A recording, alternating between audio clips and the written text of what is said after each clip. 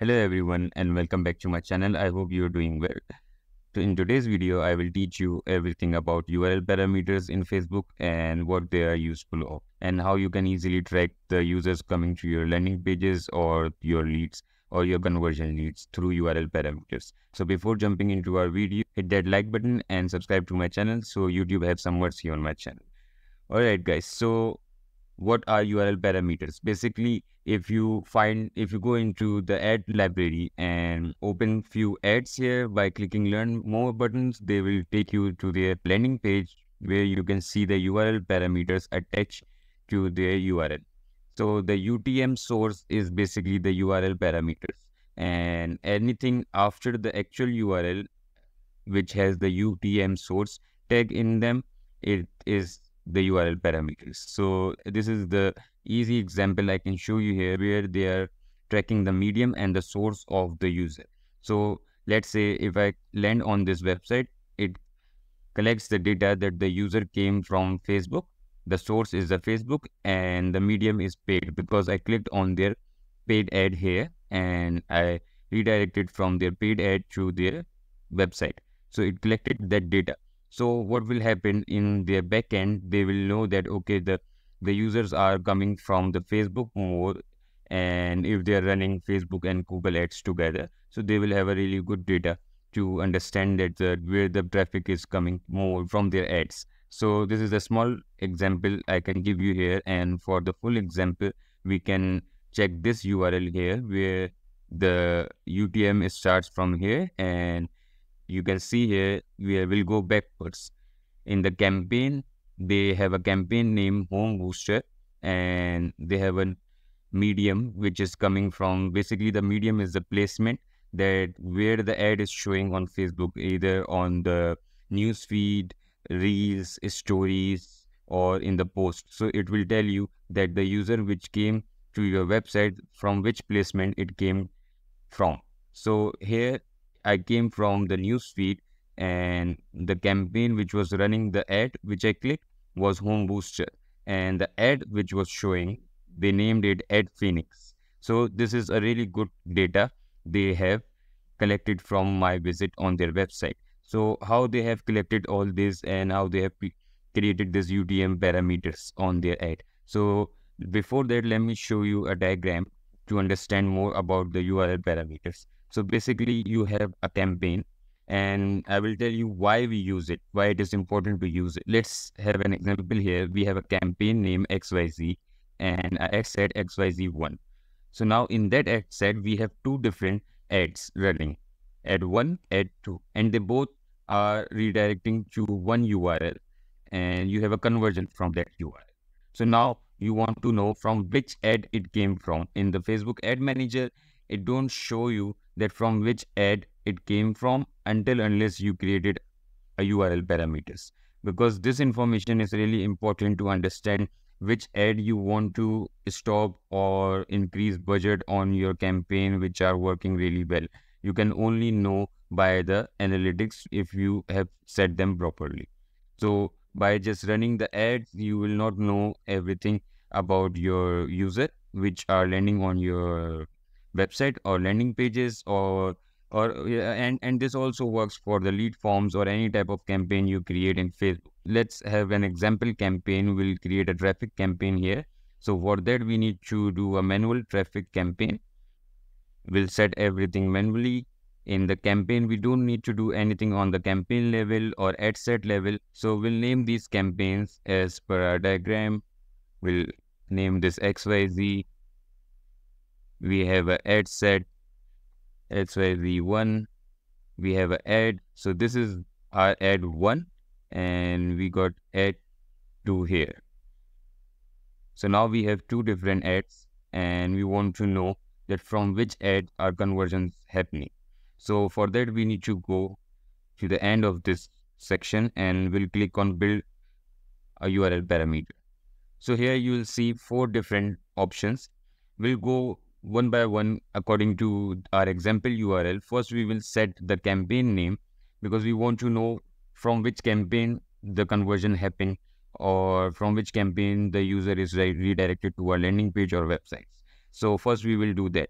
in you can see here it says campaign name you have two different options either you do it by manually or dynamically so for manually you can just type your campaign name here campaign name one and it will fetch the name manually from your parameters. But by doing that what happens in future if you change your campaign name or it will it will mix up things in future if you change anything in your campaign or ads. So i always prefer doing dynamically because uh, if i change anything on the back end it will fetch everything dynamically. So for that we just need to click on this field here and it will show us options. We will select the campaign name here and it will always fetch the campaign name which we have xyz into our url parameters so after that we have a medium that from which placement the user came from. So for that, we'll have to go into campaign medium and we'll select campaign placement. So it will fetch the placement of your ad from which placement the user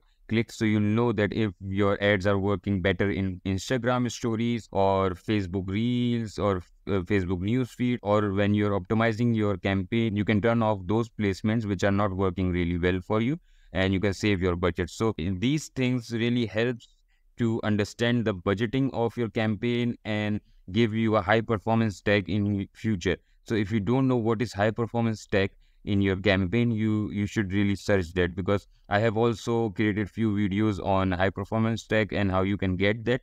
So all this process where you learn about your traffic that helps you in your campaign to get a high performance tag because when you get a high performance tag on your Facebook campaign, you can run that campaign on a really low budget like $2 $3 per day for a really long time and it will give you conversion on a really good CTR and the CPC gets really low on that. So you need to learn all these things to get a high performance tag. So after this, we'll go into campaign source and for the campaign source, we need to know that from Facebook or Instagram where it came from. So for that, we need to select the site source name here so it will collect the, the source that from which source engine it came from.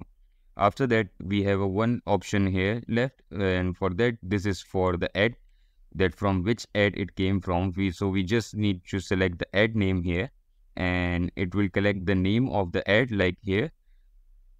You can see. So ad Phoenix.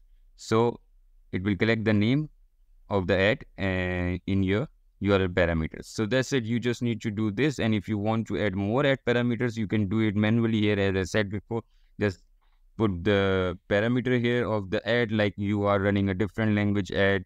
So you can say language will be the parameter and the value can be French.